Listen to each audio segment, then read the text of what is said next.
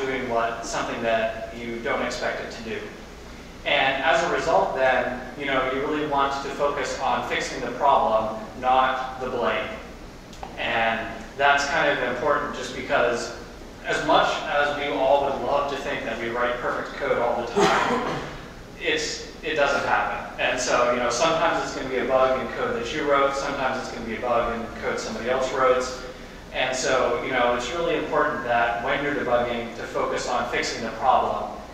Then you can take a step back and, you know, potentially do like, you know, the five whys or something like that to see if there's like an underlying process that potentially led to this particular bug uh, ending up in the code. The other uh, key point that Pragmatic Programmer makes is uh, don't assume it, prove it. And what they mean by that is, you know, simple things like, of course the variable is set to this value at this point in the code. Well, maybe it isn't. And when you have parts of your code where there are certain things that you expect to be the case, when you're debugging, the first thing to do is really to focus on, okay, are the expectations that I have in this particular section actually true? And so, you know, I can't tell you the number of times that it's just like, oh yeah, of course that director is supposed to be there or something like that happens. And then when you actually get into debugging the problem, it's not the case. So when you start to debug, focus first on what your assumptions are and make sure that those are valid. And then lastly, uh, they point to the case of like uh, the example that uh, there was this one uh, developer who could have sworn up and down that the select statement in the C compiler was broken. And it wasn't until you know he went back and read the manual that he realized that he was using it wrong. And while Node is more of a bleeding edge type of system, most of the time the Node core works as expected and a lot of the uh, other code in the system works as expected. So tend to think that the problem is probably in code that you wrote versus a lot of the other code that you use. Uh, again, with Node kind of being a little bit more cutting edge, that's not always the case, but it's, it's good to kind of think about that in the first place. You guys ever had any problems, like in the actual Node core? Not that I recall. So the, the next uh, technique of debugging that um, we've always, and I've always found uh, very helpful is what's known as rubber ducks, or rubber duck uh, debugging. It's this funny uh, idea that when you try and explain the problem that you're having to somebody else, you usually have this insight, oh yeah, of course, that's what it is. And so uh, this stems from the concept of, you know, if you're developing alone and you don't have somebody else there to um, kind of like have an interactive debugging session with, you know, you could just talk to a rubber duck to get it done, which kind of also goes back to like going back to the assumptions that you have and really focus on the problem that you're trying to solve. And so I can't tell you the number of times that's just like I walked over to somebody's desk and started explaining what was going on, and halfway through explaining, you kind of get that aha moment, go back, and you solve the problem. But, so once you're in the right debugging mindset, what are some of the tools that you have available to you to actually start debugging uh, your node code? And one of the easiest, uh, most primitive version is uh, just adding console statements to your code. And Node provides a nice suite of uh, console statements that you can use. Uh, log info and log warn are data that will be sent to the uh, standard out of your process. Uh, console error and console warn will be sent to standard error. They also provide console.dir for kind of uh, dumping uh, a deep representation of an object. Console.trace will give you a stack trace along with a message uh, at the point that you call it. And you can use console.assert to make assertions about your code that, if they prove to be false, will uh, print out the error message and give you a stack trace of when they happen. And because I've gone on talking quite a bit here, I actually want to show some code. So this is um, just a very brief uh, uh, example. And is that large enough for everyone to be able to see? So this is just a, kind of brief run through of how all of those different uh, statements uh, can be used uh, in the system. Uh, so here we have the various forms of console.log. You can pass it just a straight up uh, text message, string, or object. If you don't provide any type of formatting parameters, the first string in a console.log statement uh, recognizes uh, a subset of printf, and it will uh, use percent %d, %s, and percent %j to dump out a number, the string representation of the object, or the JSON representation of the object. If you don't specify those parameters and just pass additional parameters to console.log, it will um, spit them out, but use uh, nodes util.inspect to uh, dump the object. And when I run the code, you can see the difference in behavior there. Console.error is the same thing that we saw before, but just sending that output to standard error. Console.dir, as I mentioned, uh, dumps uh, the object uh, out. The trace gives you the stack trace in line, and then console.assert allows you to make those assertions. And in this case, because this second console.assert will fail, the program terminates at that point, um, unless you have an uncaught exception handler or something like that. So this last statement is never run. Um, so if I pop over to the code um, and run that,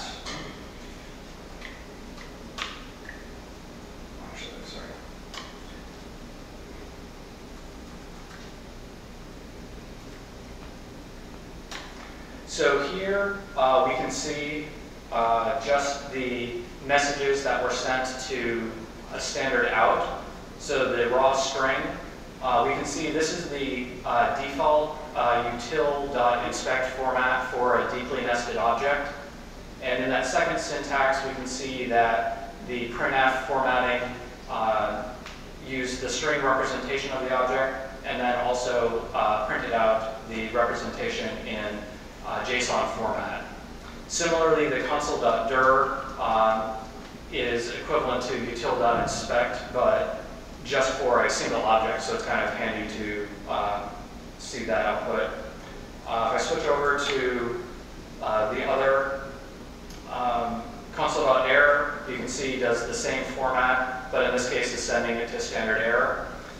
The trace is handy um, if you have a need for it, where it will print out whatever label you have, and then gives you the full uh, stack trace of how the code got to uh, where you are. So that's handy sometimes for debugging to figure out what's going on. And then lastly, we see that the first assert statement is not shown at all, and the second one throws the assertion error with the message along with uh, providing the full stack trace. Uh, any questions on that before I move on? So the one thing that you can, the one thing that I find anyway is that, hey, that console statement that I put in there was pretty handy. I might want that again in the future, but who wants to have their code completely littered with all of this extraneous output that you don't always need? So the one thing that you'll find is that there are a lot of people that have put together various uh, types of uh, logging infrastructure that you can use to control how verbose the output of your program is uh, through various means. And so uh, three of the systems that uh, I see mentioned quite frequently are the debug module, uh, Winston, and Node Bunyan. Um, in particular, um, I'll call out debug because uh, for anyone that is using Express, Uh, Express by, uh, Express and default, uh, sorry, Express and Connect uh, by default use the uh, debug module. And so if you want a little more insight into what uh, Express or Connect are doing, uh, you can uh, use that. And because uh, those are pretty popular modules, I thought I'd give you a brief um, example of how we use uh, debug. So I've got this little program here that has a couple of workers that do stuff in the background. So if I spin that up in normal quote-unquote production mode, you see no output because the workers are happily running in the background and doing their thing. Uh, but here what I've done is I've required the debug module and then passed in a unique identifier. And so what I can do now is by setting the environment variable debug equals to some string, I can uh, change the verbosity of the debug statements that I get. So if I rerun that here with debug equals star, you can see the worker A, worker B, and controller now start spitting out uh, information along with uh, timestamps of deltas of the last time that they log information so that you can see like how, uh, how much the uh, program uh, is doing and when. Additionally, uh, debug supports the ability to kind of like do wildcard. So in this case, I have three different debuggers registered, controller, worker A, and worker B. If I want to, um, uh, here you can see I've got a couple of controller statements uh, mixed in. If I want to, I can just tell debug, only print out the statements from the workers. So by dividing up your modules and having different debug points registered, uh, you can kind of filter the output that you're seeing. Um, and then the other thing is, uh, if you are redirecting your output to another uh, system, uh, so, and by default, uh, debug uh, outputs everything on standard error. Um, it will switch from the delta timestamps to like a full UTC date string. So in this case, I'm kind of like redirecting my standard error to a file. And so in this case, I'm now getting the full date time string for this so that if you wanted to in production, uh, you could uh, easily kind of like capture the timestamp of when any of your logging statements happen. And uh, to kind of just give a brief uh, example of how Connect and Express get used, uh, in this other project, uh, you can see as the application starts up, Connect Dispatcher and the Express router register the various things, which is kind of handy to see as you're looking at the routes and everything that you have defined, like why is um, why when I'm at a particular point in the flow do I not have my cookies? Oh, that's because the particular endpoint is registered before the cookie parser gets passed. And so um, I've definitely found this handy when I'm uh, uh, a lot of different uh, middleware together in uh, a Connect Express type of application. The uh, other projects, uh, Winston and Node Bunyan, um, also have various levels of ability to control the uh, verbosity of logging that you record, uh, where it gets sent, and how it gets represented. Um, we, for a short time, used uh, Winston, uh, but ended up kind of rolling our own to give us a little bit more flexibility than Winston had at the time. I'm um, just kind of curious, um, beyond uh, these, are there any other logging systems that people are using now that they're finding particularly helpful? Okay. Uh, so um, definitely recommend checking these all out. They, oh, yes. Loggly is the one thing to. Oh, Loggly, okay. I use Papertrail also, which is very similar to Loggly. Okay. It's all plugins that you can, like, it's add-ons that you can work with. Yeah, does that mean that you're just using console log? Um, in that scenario, you can do, most of the time it's just console log message that are going out there, but obviously captures any errors and things like that. Right. I'm not using it to the, the every degree that I can use the console statement. Okay. I use it more for like retro stuff, like scan, like, look like, is there any errors happening, timeouts? Yeah. So uh, Loggly and Papertrail are another couple options, but uh, if you're looking system beyond like a debugging session, uh, definitely check out one of these modules. They're all, they're all really good. So uh, sometimes logging isn't enough, and that's when you really want to kind of get into an interactive uh, debugging session on uh, your local machine. And so Node has um, a uh, built-in uh, debugger that you can use.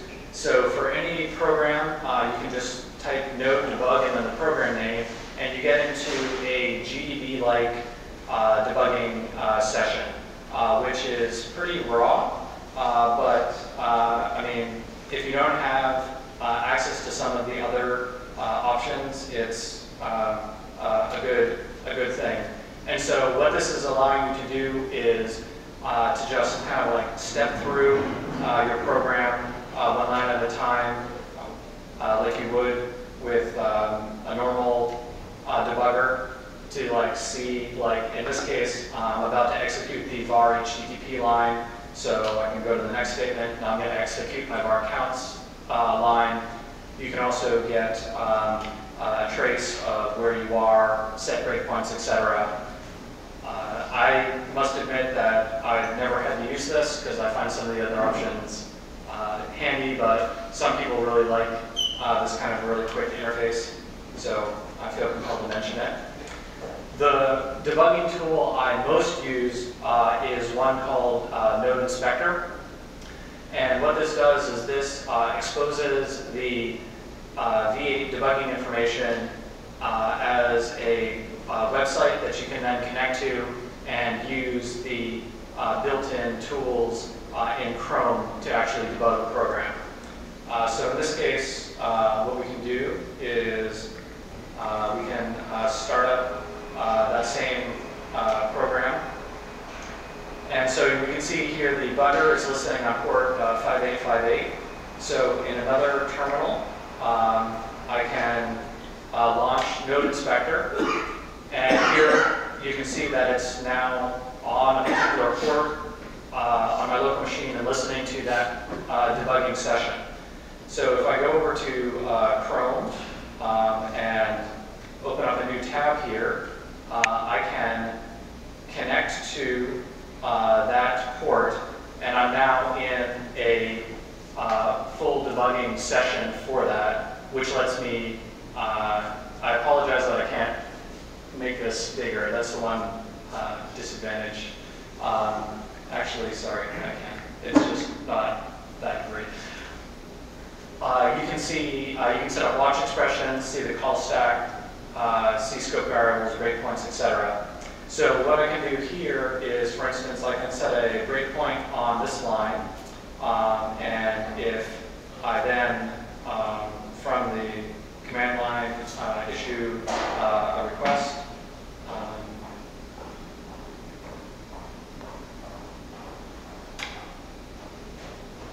Back over here, we can see that my breakpoint has been triggered. We can see the call stack of how the system got to that point. We can inspect the variables that are in scope here, such as the request and the response object. We can also walk up the chain to see, for instance, the closure that uh, this function is running in, along with um, all of the global state information that uh, is available. And then you can do the standard uh, step over, step into, step out uh, in here. One of the other uh, nice things that is a little crazy that uh, you can do is if you want to, uh, you can also, uh, within the debugger, modify code on the fly if you have a particular path that you want to test. So for instance, here on this first reply, I just sent back hello request one uh, say that is really uh, like, oh, that's supposed to be a lowercase r, I can go in here, make that change, and so now,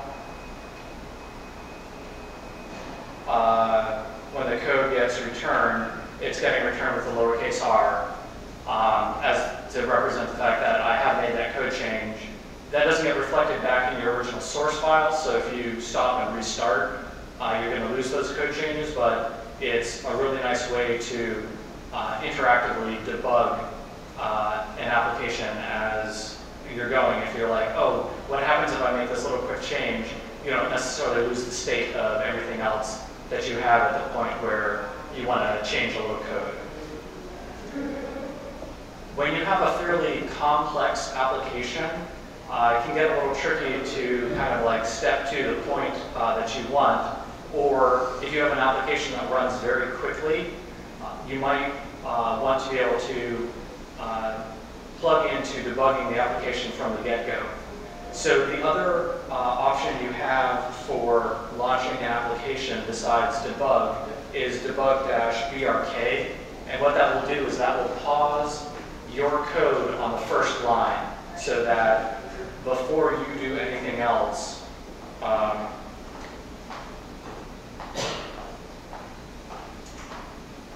it will pause the code. So at this point, I'm on the first line of my uh, code, and so I can set breakpoints and do any other kind of manipulation that I need to before uh, any of the code within the system is, uh, is run.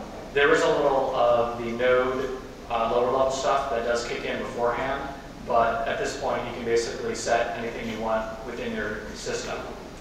If after a few go-arounds you finally figure out that, okay, there's this particular point in the system that I really need to uh, focus on, uh, what you can do is uh, you can use uh, the debugger keyword.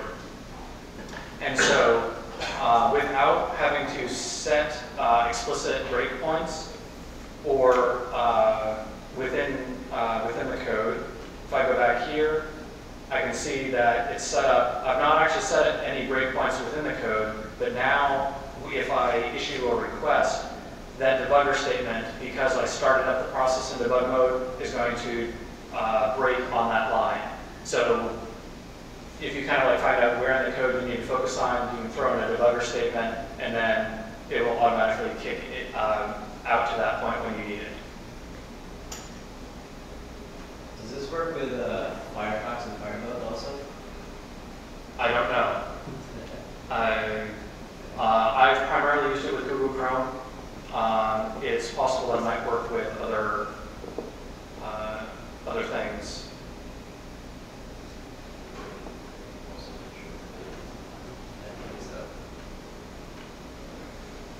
Uh, so, oh, uh, the one other thing that I wanted to mention is that uh, if you have a long-running node process and you then realize that it's gotten into some state and you didn't actually start it up with uh, the debug flag, uh, you still have options.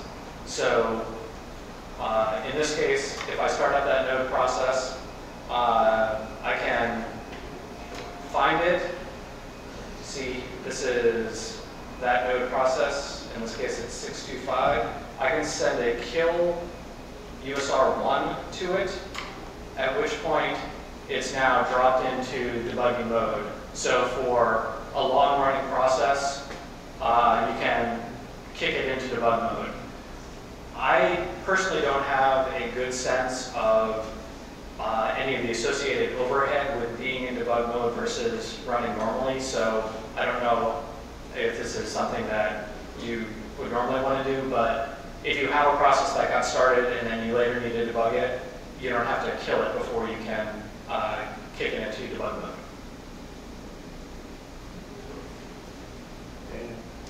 Yes, sorry. Um, Do you know that if this node inspector is supported in node 0.10? Uh, yes, it, it, It is? Because the last I checked, probably three or four weeks ago, node inspector is looking for maintainers. It is no longer being maintained. oh, okay, sorry. Yeah, so, yeah, thank you. Um, that, that was the one part here I forgot to call out. Um, the newer versions of Node Inspector, if you just do an npm install Node Inspector, I've found extremely buggy. Um, so at this point, I would recommend installing uh, 0.1.10, uh, which seems to be much more stable. Um, uh, after uh, later on, uh, we can do a double check, but as far as I know, 0.10 also works for debugging. Yeah, I, I actually had to use the the native node debugger because I was having problems, and it may be because a bunch of packages that I was, or modules that I was using broke with the upgrade to 0.10, and they've subsequently come back in line. But mm, okay. No, I mean, uh, uh, for the few 0.10 packages, projects I've worked on, I, I don't remember having any problems. Okay. So uh, you found, oh, sorry, another question. Um, one other debugging option is um, uh, WebStorm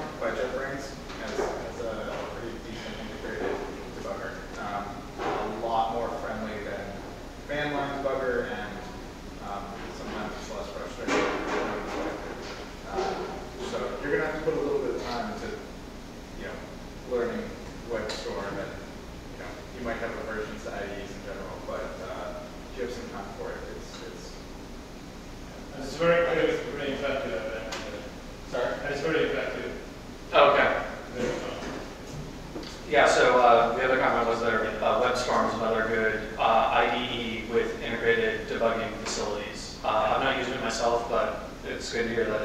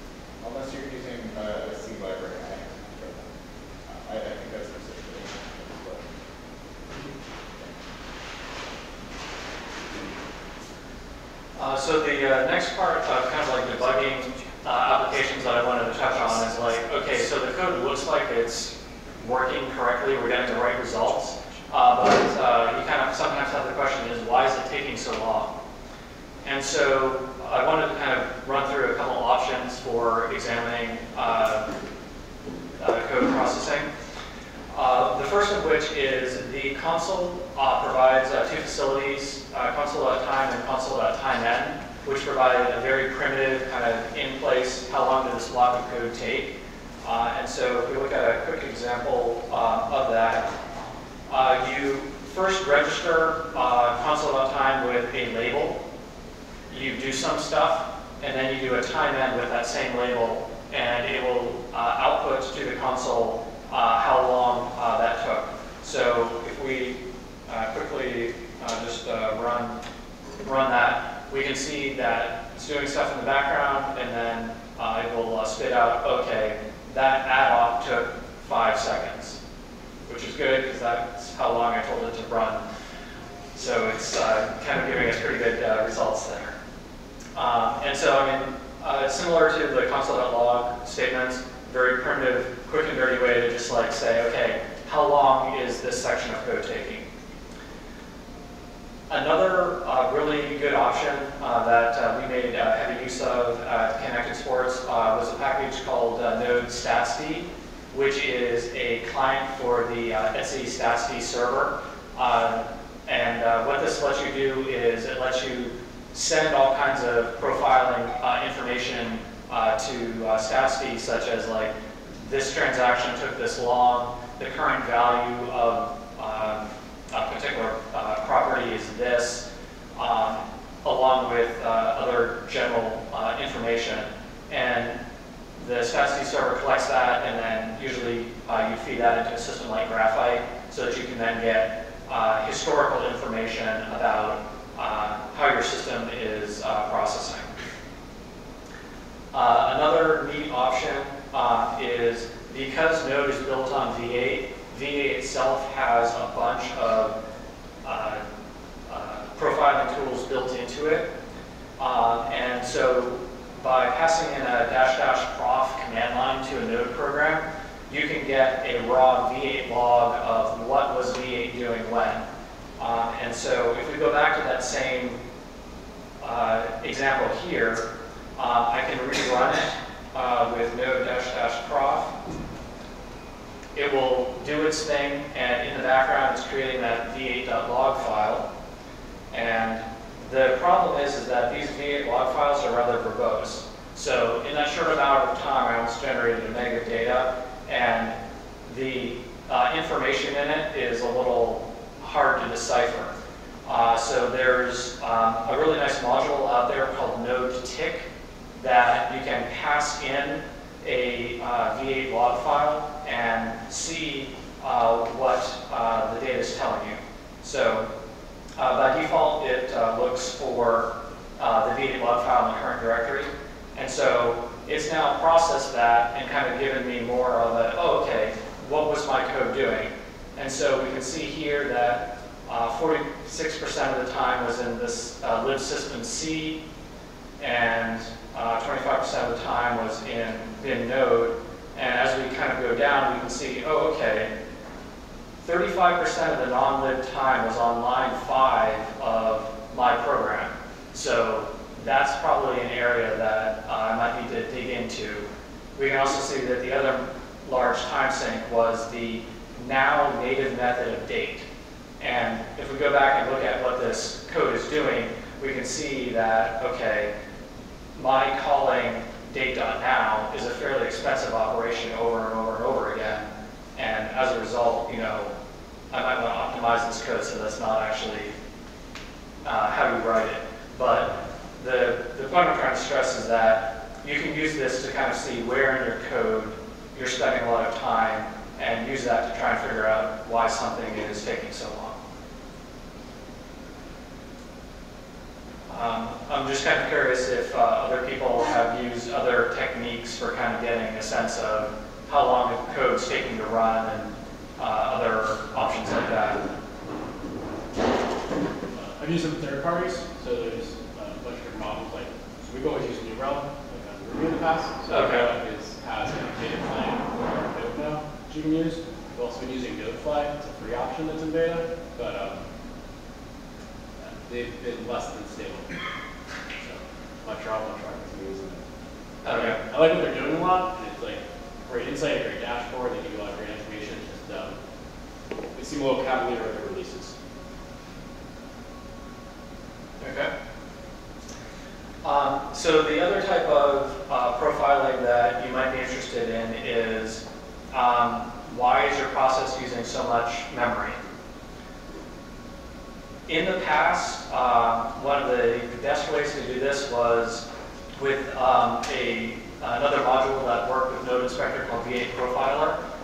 Uh, unfortunately, uh, with uh, .8 and .10 of Node, uh, that module no longer works. And I think that kind of goes back to the comment earlier where Node Inspector and V8 Profiler kind of need a new maintainer.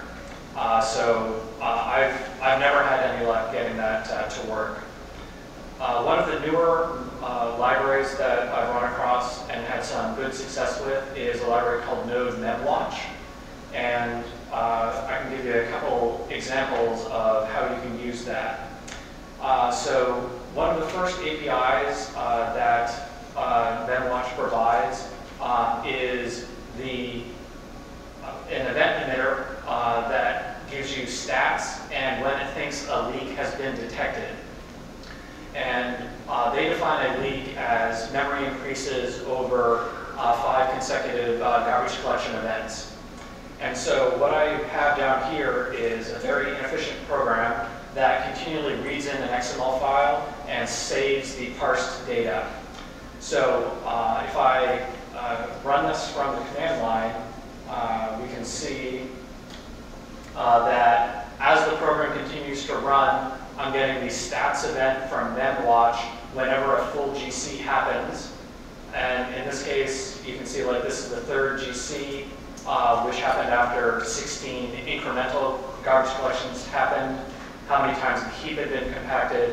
And then the more interesting part is like, what's my minimum and maximum memory usage, along with the estimated and um, kind of current base for the process. And so here, uh, because I wasn't freeing any of the objects that I was creating, it eventually sent out a uh, leak event to let me know that, okay, uh, since I started the process, uh, it's now grown uh, 67 megs, which is probably fairly indicative that uh, the uh, code I wrote is not performing very well. So the idea is that you can throw these into production code, and then as you look at your logs, you can see if, like, over time, if bad things are happening. And then if you do find that, okay, my code is not working as expected, uh, they provide a second API uh, called um, uh, heap diff.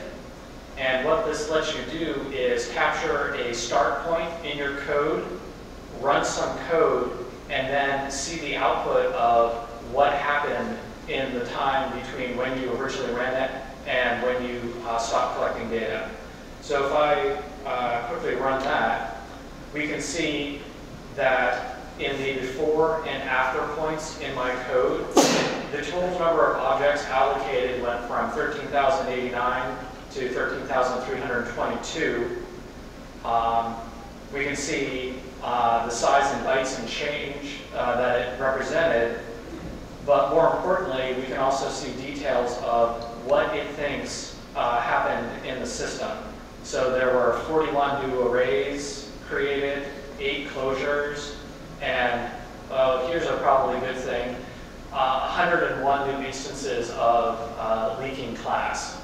And so with this type of information, you can kind of see if there's something glaring in your code that you know you're not cleaning up or seems to be sticking around longer than uh, you want it to. Um, and uh, this project is uh, under fairly active development right now, so uh, definitely something to uh, kind of keep a watch on that I think they're only kind of improve the information that uh, they're able to expose.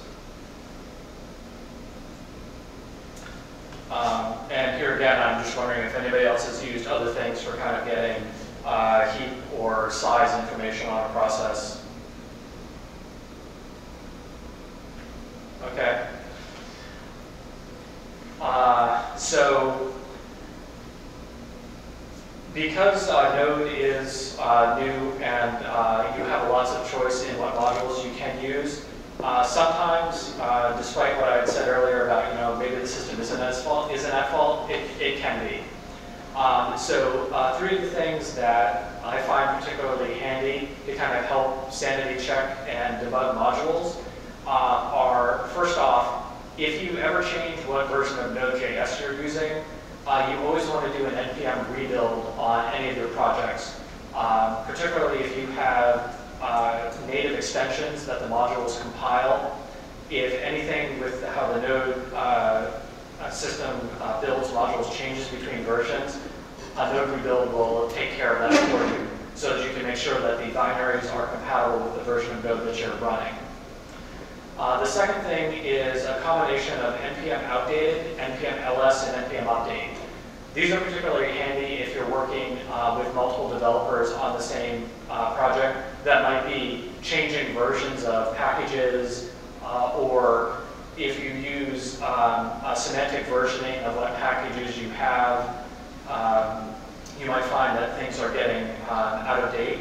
And so uh, as a quick example, um, if I run um, npm uh, uh, outdated here, it's pulling information uh, from the npm registry uh, about the packages that are defined, and then it's saying, oh, hey, I currently have version 0.0 070 in my node modules directory, but my package config says that I should be running 071.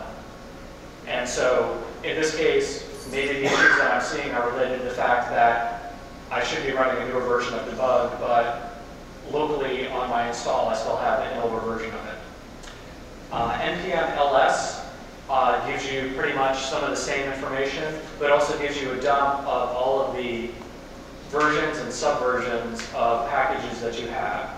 So for instance, like I can see that uh, XML2JS has a dependency on SAX, and so this is a quick way, and in this case I can see that, okay, the version of debug that I have here is, again, uh, not the correct, uh, not the correct version. Um, and the last one then is um, um, npm uh, update, um, and uh, what this will do is um, uh, let me know that again debug 071 is really the version that um, I should be running. Um, so in this case, uh, npm update updated my local module to uh, the correct version. So now uh, npm ls is uh, working fine. So this works on the uh, checking that what you are running in node modules matches what you have in package.json. The other thing that you might find is that you're running into a bug and you don't necessarily know if there's a newer version of a module that you're using. Uh, there's a package out there called uh, uh, Police, uh, which really kind of uh, is a good way to handle that for you. You can point it at uh, Git repos, Git users, or it also has a handy local mode. So in this case, I'm going to try and police my local package.json. And so what this is going to do is check the version that I have specified in my package.json against what's available in the uh, npm registry. So in this case, it's letting me know, oh, hey, there's a newer version of debug out there, and if I wanted to, I could go and grab it. Um, it also has additional um, debugging help that says, oh, hey, these are all the fields in my package.json that I failed to specify, and I might want to add to have a nice package before uh, like publishing it out uh, to uh, the npm registry. So uh, between uh, the uh, built-in npm commands and police, you can really kind of make sure that the modules you have are the right ones. Uh, Do you have a recommended strategy for use of wildcards in the package.json file? Does it just never do that? There are many schools of thought, and that really kind of comes down to, I found, with how much you want to control um, the code through your workflow. Um, and what I mean by that is uh, what you're testing on your local machine to potentially what you're running in a QA environment to what you're running in production. Uh, some people advocate checking in your node modules directory and then on the machine just doing an npm rebuild. Uh, other people uh, like to use npm shrink wrap to capture versions and subversions at a fixed point. Uh, other people are like, uh, will take uh, patch level updates, no problem. It's really kind of dependent on um, how how liberal you want to be in pulling updates and potentially having skew between various environments.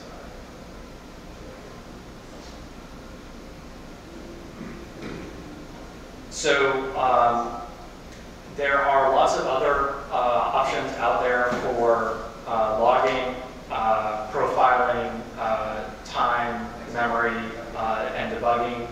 Uh, a few of these have already been mentioned. Um, one of the other uh, really neat things that Node has built in, uh, but uh, because I do most of my development uh, on a Mac and use a uh, Heroku for deploying application, haven't really been able to dig into is the dtrace support. Uh, that's some really cool stuff um, that I highly recommend checking out uh, if you're running on Linux or potentially using uh, Joyent's OS. Uh, New Relic, uh, as was mentioned, has a uh, beta uh, Node agent. Uh, That's a very popular way to uh, kind of check code. Nodetime is another third-party service that can do a lot of performance uh, profiling and monitoring of your applications. Uh, And as mentioned, uh, WebStorm is another IDE that has uh, built-in debugging support instead of having to kind of like switch over to Chrome or what have you. So unless there are uh, any other questions, uh, that's all I have. Does anybody have experience with node time? As we're, as we're marching towards uh, production release, we're doing performance testing, and I've hand rolled some things which says, okay, number of requests and average response and requests per second, and that's all well and good, but you start running under cluster, and it just becomes a mess. But I know Nodetime, they provide a free license for single instance, but they start charging kind of heavy per each instance, you know, um, has anybody had any experience with it? I've been using Nodefly in production and I've tried New Relic. I have not tried Node, Node. Nodefly? I'm using Nodefly in production, Okay. um, and I've tried New Relic. I'm actually trying to get through about it until.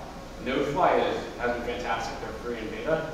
I hit, uh, I got bit by a pretty bad issue of theirs, Yeah. um, yesterday, which is why I Yeah, said, yeah, right, right, right there. To your point, like, I had specified stable, which is like where they're not, which I thought was a because it's also our third-party system, but, um, they made it so I couldn't connect my, my authoriz- authorization to Redis. So, um, which took a while to track down. Um, so, so anyway, you can try it, it's great, but I don't have the best experience. I, I've used it over the last month, it's the first issue I've had. If it's free. hadn't happened yesterday, I would have been like, it's fantastic, you should go with it. Yep. But, Um, and then New Relic, um, New Relic is like, it's been amazing on the Rails side when I've used it in the past. Um, I haven't dug it up into it yet, I just set it up quickly and I've been emailing with their, their developers, because like I said, I'm I'm hoping to get Nodetime, New Relic, and Nodefly to come here to Relic, present. That'd be nice. Try and do something with here it goes. Yeah, well, I'm at the single instance at this point, so. Yeah, see. yeah, yeah. Um, anyway, I'm probably gonna switch over to New Relic this week, just because I'm getting off of Nodefly for right now, um, so I'll let you know how it goes. Okay. But they're, they're paid to get anything like really substantial, and they're, they're pretty expensive. Yeah, we, um, we evaluated Nodetime, but ended up uh, using uh, StatsD uh, to capture similar data. Uh, So StatsD will catch some of that stuff. Well, I mean, so uh, StatsD, there's no built-in support. Uh, We had to augment our own code with uh, various handlers and stuff. Uh, But we were able to track like uh, the time that any uh, operation to Redis or Mongo took, along with uh, how long HTTP operations took, and we're able to break it down across like this particular get URL scheme to have these time performance. So you, so you're man- manually collecting the stats, but they're aggregating them and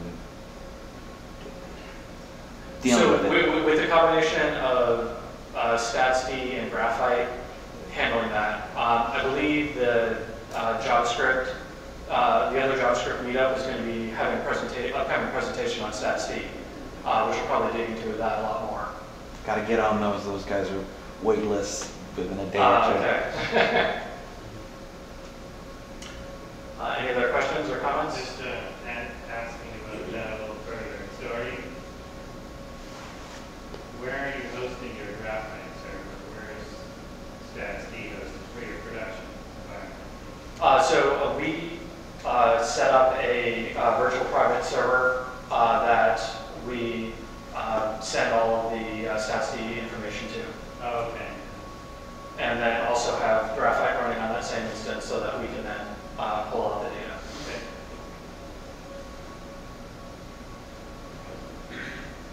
You, uh, so these cloud hosting,